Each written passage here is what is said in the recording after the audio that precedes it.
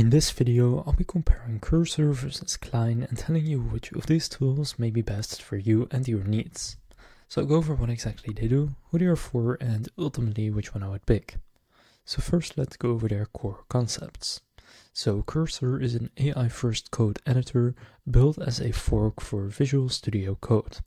Its core concept is to provide a deeply integrated AI experience within a familiar local development environment, focusing on intelligent code completion, generation, refactoring, and code-base aware chat.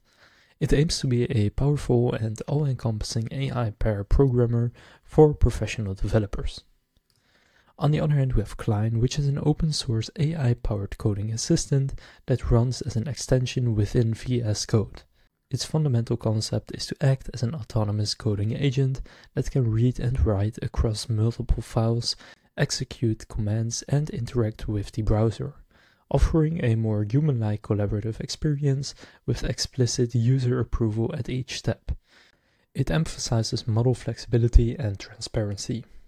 Now, in terms of target audiences for Cursor, it's professional developers, teams, and enterprises, and developers working on complex code bases, and then especially those already using VS Code and seeking to enhance their productivity with advanced and tightly integrated AI features.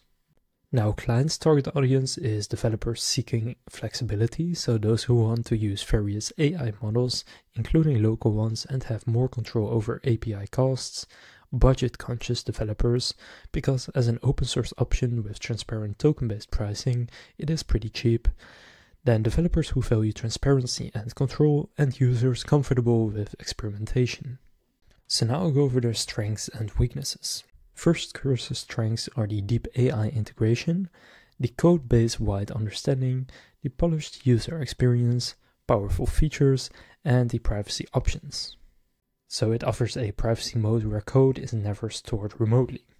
The limitations on Cursor are that it is a closed source product, which means less transparency compared to open source alternatives such as Cline. The cost, so the advanced features and access to powerful AI models often come with a subscription fee, which can be higher than some alternatives, and there is a learning curve. Then Cline's strengths are the autonomous agent capabilities, the model flexibility and control, transparency and user approval, terminal and browser interaction, and finally that it is open source. The limitations on ClineBot include performance with large files, context management challenges, setup complexity, a less polished user interface compared to Cursor, and the cost variability. So which one should you pick, Cursor or Cline? I would go with Cursor if you are a professional developer seeking the most integrated and powerful AI experience within a familiar VS Code like environment. Also, if you work on complex projects and need an AI that deeply understands your entire codebase for intelligent generation, refactoring, and debugging, if you value a polished, fast, and reliable AI first IDE with a strong feature set for individual productivity and team collaboration via Git, and if you are comfortable with a subscription model for advanced AI capabilities, I would also go with Cursor. Now, I would choose Cline if you prefer an open source solution that offers greater transparency and control over AI models and API usage. If you want an AI agent that can actively create, edit, and interact with your development environment beyond just code suggestions.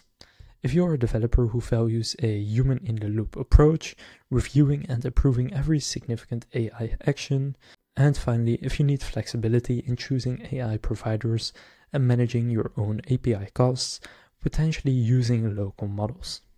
So that concludes this comparison of Cursor versus Cline. If this comparison helped you make a decision, please consider leaving a like and subscribing to my channel. With that being said, I will see you in the next video.